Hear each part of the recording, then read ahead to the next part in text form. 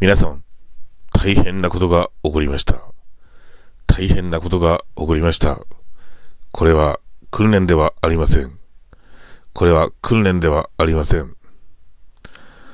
仮想通貨、ビットコインをはじめとした仮想通貨の価格が、なんと、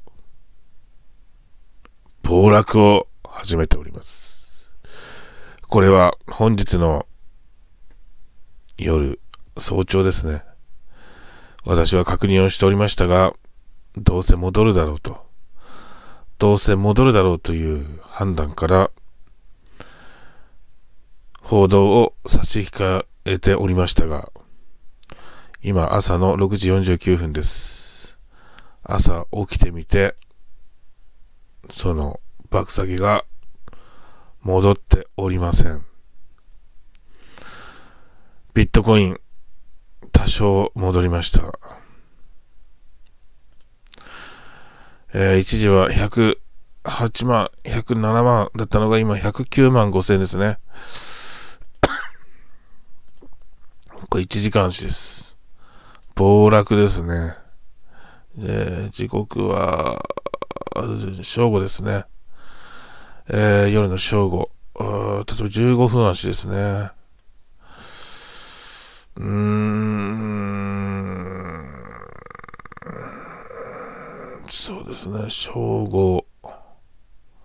45分ですね。正午45分。もう少し詳しくやると、5分足でやりますと、正午50分ぐらいですね。えーこの辺で少しね、こう、落ちかけてるんでね、えー例えばビットコイン FX やってて、四六時中、えーチャートを見ることができた人は、ひょっとしたら、いや、難しいかな、これ。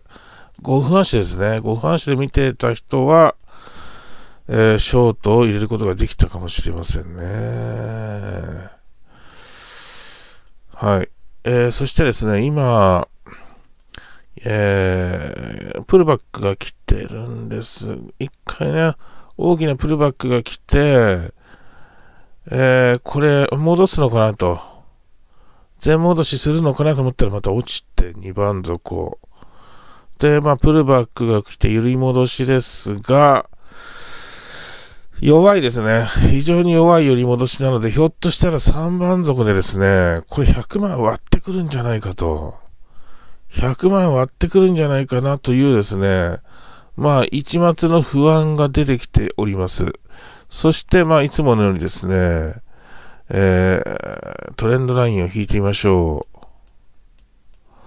これね、あの、ビットコインだけじゃなくて、すべての仮想通貨が、えー総攻撃をされてしまっております。えー総攻撃をされてしまいました。はい。ただし、まあ、トレンドラインを引くとですね、えーまだ、そうですね、トレンドラインを引くと、まだここの、えー割ってはいけないこの線を割ってはいませんね。はい。割るのはいくらなんですかね。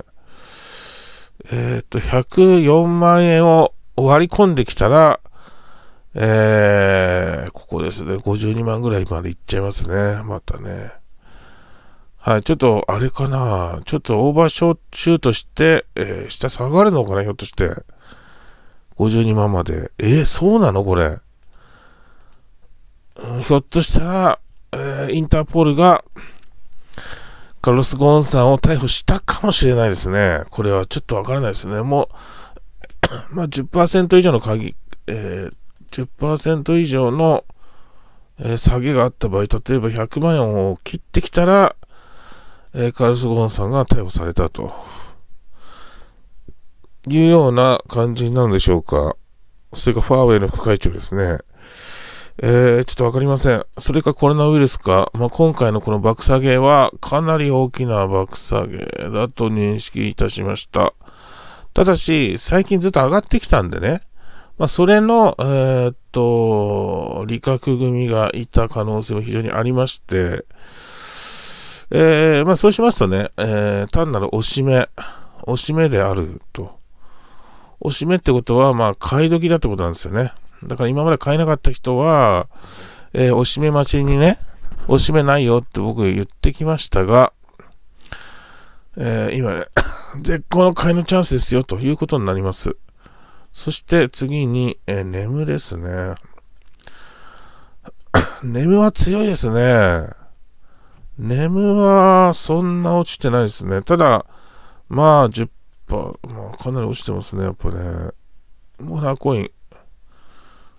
強いですね。強いですね。モナですよね、これがね。で、ビットコインキャッシュ。ああ、結構落ちましたね。ビットコインキャッシュも10%ぐらい。イーサリアム。強いですね、イーサリアムもね。あと、眠、あの、リップがかなり落ちたんですよね。じゃビットバンク行ってみます。はい、トトレードですね。えー、っと、リップル、これですね。だいぶ落ちましたね、これ。1時間足ですが、まあ、だいぶ上がったんでね。えー、冷やしにしています。だいぶ上がったたので、まあ、調整が入ったというか、まあ、調整入ったと。で、今まで買えなかった人が、まあ、ここでようやく買えたんで、ひげつけてね、戻していると、より戻しがあるよという、まあ、シナリオでもいいかもしれないですが、ちょっとわかりないですね。わかんないですね。またちょっと陰線出てるんで、2番底、3番底があるかもしれないですね。まあ、これの繰り返しですから、仮想通貨は。上がったと思ったら下がって、全下がりして、さらに下掘っていくというですね、がっかりをさせられるというのが仮想通貨の今までの歴史なんでね、こういうとこも上がった、やったやったと思ったら、もう全然、前回より下がってんじゃねえかよと。ここら辺もそうなんですけども、それの繰り返しであったもんですから、まあ、あの、またかよって思ってる人もいるかもしれないし、えー、いや、そんなことない。これは、まあ、単なる、まあ、調整が入っただけで、えー、おしめですね。おし、まあ、おしめであると信じたいなと思います。で、コインマーケットキャップを最後に見てみたいと思うんですけれども、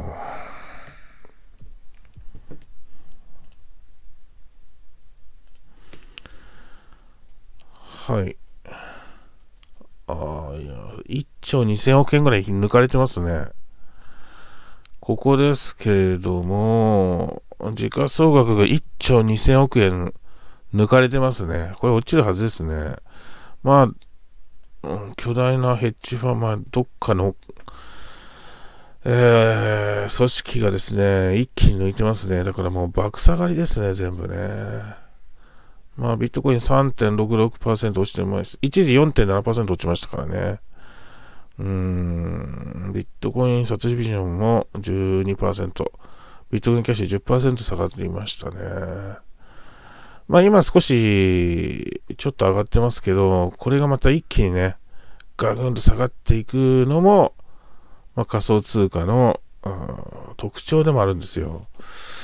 で、まあ、がっかりさせられて、まあ、何だったんだっていうのもあるし、いや、これは、あの、単なる調整でね、おしめで、えー、今買い時だ、買い場だってことで、えー、ガンガン買っていって大成功した人もたくさんいます。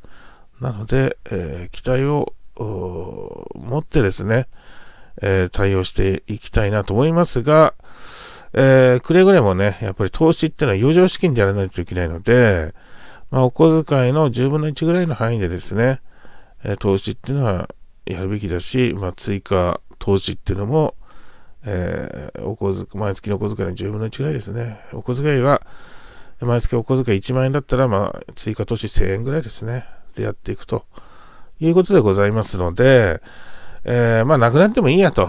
まあ、笑って過ごせる金額じゃないとダメですね。